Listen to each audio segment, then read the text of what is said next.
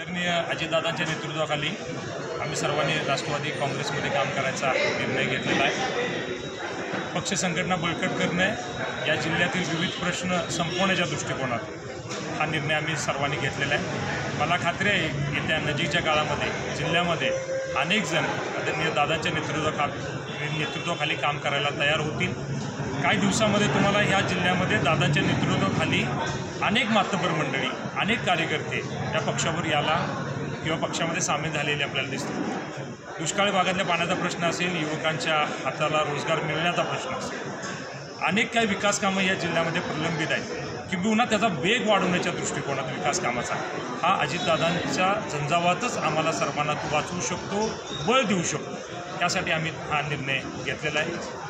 काही लोकांना अशी शंका आहे की नवीन ह्याच्यामध्ये आम्ही सगळे तीन पक्ष एकत्रित काम करतो आहे त्यामुळं पुढच्या तिकीट वाटपामध्ये काय होणार कुणाला थांबावं लागणार का किंवा काय?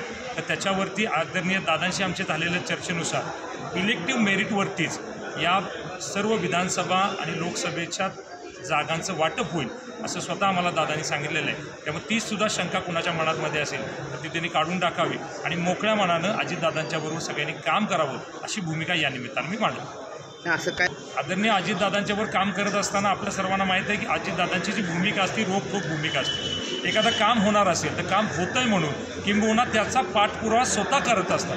त्यामुळं अनेक कार्यकर्त्यांना त्यामुळं बळ येतं.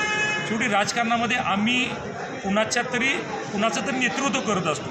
आणि ती नेतृत्व करत असताना त्या लोकांच्या आमच्याकडून कामाच्या अपेक्षा असतात विकास कामाच्या अपेक्षा असतात काही वैयक्तिक स्वरूपाचे काय त्यांची कामं असतात? या सगळ्याला जर न्याय मिळाला नाही तर ते कार्यकर्ते आमच्याबरोबर सुद्धा राहतात त्यामुळं आम्हाला पण असं सक्षम नेतृत्व पुढं असं अपेक्षित असतं की जे या कामाला सगळ्याला न्याय देईल. आणि आजपर्यंतचा दादांच्या बद्दलचा आमचा अनुभव असा आहे की एखादं काम घेऊन जर आम्ही दादांच्याकडे गेलो आणि त्यातल्या त्यात ते सार्वजनिक स्वरूपाचं असेल विकासाचं असेल त्याला कुठलंही पक्ष संघटना बाकी कुठल्या गोष्टीचा तमा न बाळगता ते काम सामाजिक आहे या दृष्टिकोनात ते काम करत असतात.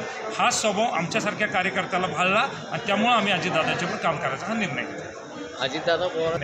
अदो अगोदरच्या नेतृत्वासंदर्भात मी टीका करण्या एवढा मी मोठा नाही आहे कामाची प्रत्येकाची पद्धत आणि स्टाईल असते.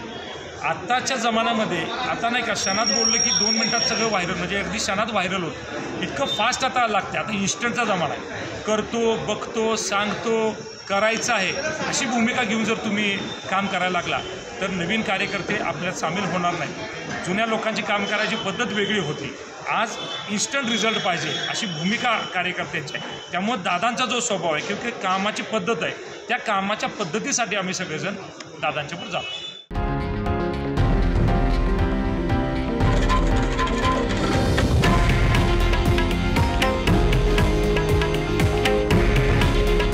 हे आहे देशातील नंबर वन न्यूज नेटवर्क.